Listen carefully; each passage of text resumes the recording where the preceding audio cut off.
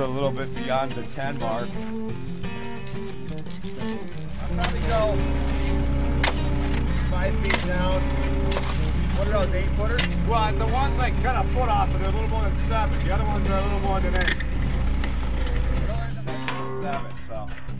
Which side's cut? You want the cut end in the hole? Or? There's not going to be much spinning once we get it down there. Oh boy. Coarse sand with gravel. Not the kind of stuff you want to grow your garden crops in. Good for post holes. That's about it. Good sand.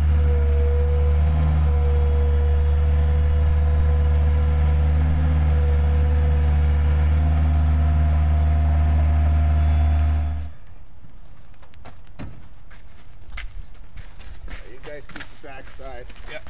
I'm going to set it right in the hole. Let it go when you're ready. Yep. All right, go for it. Nice. The top part of the mountain's all basalt, and when you go down a little bit lower, you hit a lot of arkose. So you've got the igneous rock at the very top that everybody can see, the cliffs, the jinglestone part, and then underneath that is arkose, which is a sedimentary rock. But this looks like we dug up a piece of the basalt. Probably doesn't belong here, probably was brought in with some of the fill.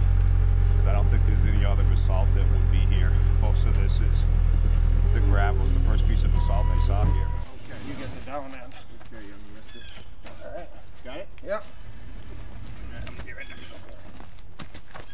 I used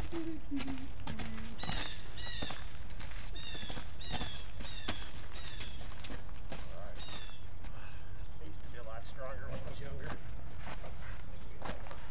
All right.